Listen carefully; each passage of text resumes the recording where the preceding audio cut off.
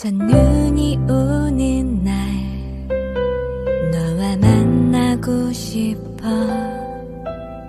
먼저 전화해서 눈이 온다고 말하고 싶어. 그러면 내 맘이 조금이라도 닿지 않을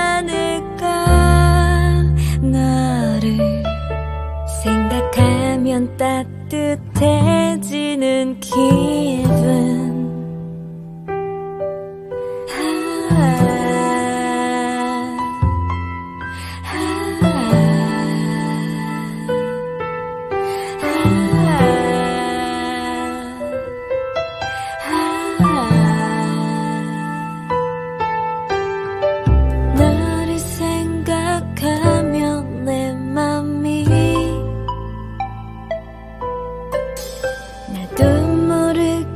두근거리고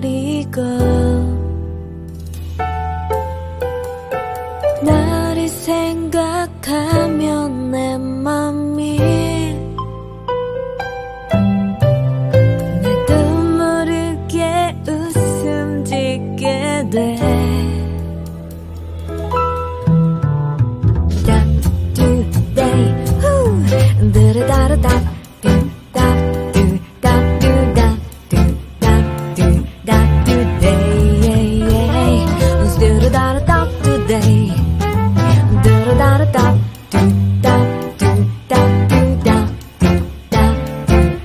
today.